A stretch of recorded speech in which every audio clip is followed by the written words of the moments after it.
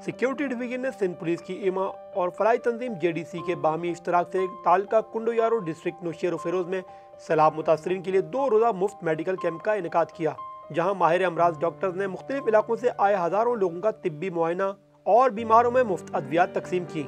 Medical camp में S S U की जानब से मुकम्मल लॉजिस्टिक सपोर्ट और सिक्योरिटी फराम की जा रही है, जबकि जे डी सी की तरफ़ से लाखों रुपए की मालियत की अद्वियात फराम की गई हैं।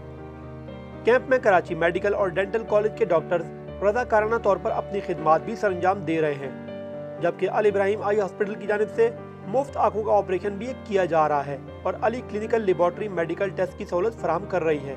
ग्रैंड मेडिकल कैंप के लिए तालुका अस्पताल कुंडो यारो डिस्ट्रिक्ट नौशेर फिरोज में सिक्योरिटी डिवीज़न की टीम की जानब से इंतज़ाम किए गए।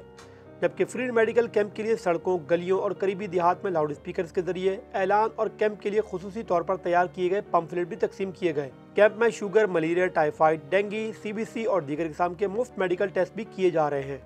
कैंप का आगाज़ सुबह आठ बजे से किया गया, जो शाम चार बजे तक जारी रहा।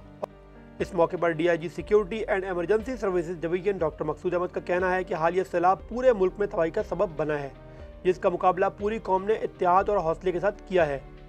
सिंध पुलिस अभी भी सैलाब मुतासरीन की बहाली के लिए अहम किरदार अदा कर रही है। वॉइस ऑफ़ नेशन की वीडियोस देखने के लिए हमारा चैनल सब्सक्राइब कीजिए और बेल के आइकॉन पर क्लिक कीजिए, ताकि आप हमारी तमाम आने वाली वीडियो से बाखबर रह सकें।